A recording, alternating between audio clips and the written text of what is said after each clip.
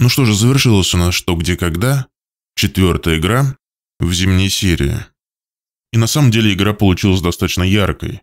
Причем в этот раз со стороны зрителей, которые задавали свои вопросы. Обычно яркую игру демонстрируют знатоки, а в этот раз именно вопросы были такие интересные. И не сказать, что совсем сложные. Даже вот этот вопрос из 13 сектора. Обычно там чушь какую-то спрашивают. И в этот раз показалось, что чушь. Но правильный ответ, конечно, сразу поменял мнение. О вообще актуальности данного сектора. Снова можно сказать, особенно в начале программы, Полину почти не показывали. Ну, видимо, специально, чтобы никто не отвлекался. Какая-то она сегодня была злая, недовольная, строгая. И начинала следить за залом, за вот этими подсказками, до того момента, как ведущий начинал читать свой вопрос. То есть она, видимо, вот так заранее своими глазками прощупывала почву. Это было забавно. Что также интересно, в этот раз Альман Талебов, особенно в начале, в первой части игры, действительно играл ярко.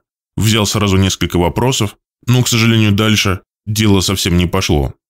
Что касается последнего вопроса про гольф, до него, конечно, можно бы было догадаться. Но он, конечно, сложный, потому что гольфом занимаются и в более экзотических местах, то есть это могло быть как одна из версий. Но чтобы наверняка и точно сказать, когда у тебя из того, за что можно зацепиться, это Манхэттен, то здесь, конечно, сложно докрутить. Что именно это гольф. Ну и, к сожалению, конечно, драма не получилось. Хотелось увидеть решающий раунд. Во время него всегда вот эта особенная атмосфера. Тем не менее, будет приятно видеть через неделю команду Мухина. Интересно, к тому времени пройдет ли вот этот обязательный карантин у Олеся и сможет ли он принять участие в игре. Но даже если нет, как мы видим, в прошлый раз команда и без него удачно справилась.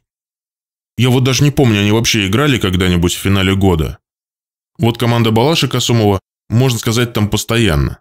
А вот команда Олеси Мухина, что-то даже уже не вспомнить, были ли они в финале года и были ли там вообще. Поэтому с этой стороны игра будет еще интересней. Самое главное, чтобы общая организация не подкачала.